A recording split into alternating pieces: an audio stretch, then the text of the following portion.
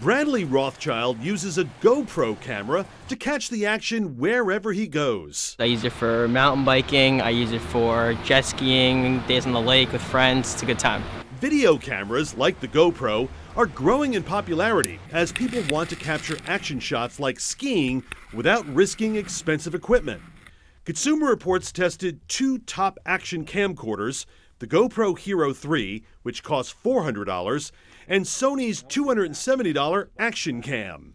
The cameras come with rugged, waterproof casings to protect them from the elements, and they're loaded with features. You can take standard def or high def video. You can also take still photos, and you can also, on both of them, take photos and stitch them together into a time lapse. But how do they stand up to tough treatment? Consumer Reports tested by putting each one in a tumbler for 25 rotations to see if they could withstand hard knocks. Both came out ready to shoot. To see how waterproof the cameras are, they were, well, dunked in water. Both survived intact with no damage at all.